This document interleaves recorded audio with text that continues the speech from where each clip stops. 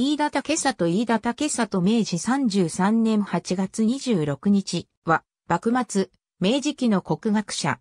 東京大学教授。48年かけて執筆した日本書紀の注釈書、日本書紀通釈70巻を完成させた。通称は、彦助の地に、森と郷は、よもぎ室。江戸生まれ。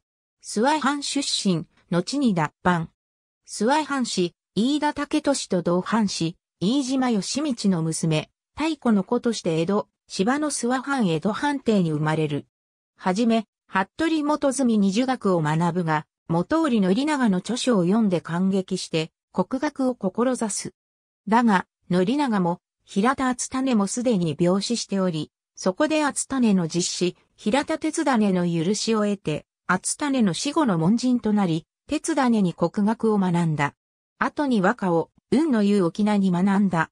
嘉永5年26歳の時に、日本書紀の注釈を志して、日本書紀通釈の執筆を始める。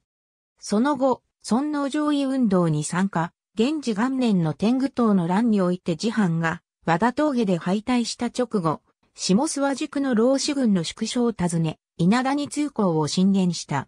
慶応2年に家督を、長男、竹雄に譲って脱藩し、京都に登り、岩倉智美のもとに帰職する。慶応4年、官軍の先方隊を名乗る高松隊が、信濃入りすると、諏訪大社の新官や稲谷の国学者たちと共に25名からなる人義隊を編成して従軍した。戊辰戦争では、東山道軍に従軍して、甲府城攻撃に向かうが、板垣大輔の手により無血解除となる。後に、上位実行のために、横浜攻撃に向かうもこれを知った。明治政府の怒りを買って免ぜられ、さらに故郷に立ち寄ったところ、相良創造が処刑されるところに出会わせて、密かに子宮を奪って葬った。こうした事情から次第に、明治新政府と疎遠となり、工学者に勤めるもほどなく帰郷する。明治元年には、京都や奈良で古典を講義し、翌2年に、諏訪藩工学所講師、同5年以後は、紀比神宮や和幸宮関前神社、諏訪大社など各地で宮司を務めた。